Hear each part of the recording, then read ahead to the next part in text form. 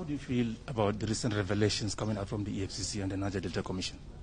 Uh, there has been abuse of trust by people trusted by the previous administration and this administration. A number of assets have been recovered and some money, but we have introduced TSA, Treasury Single Account, where all the monies are taken. And I said assets should be sold and the money be put through TSA Treasury Single Account so that it can be identified at any level. And I will see who will come after us and take it back again to, to those who misappropriate public funds.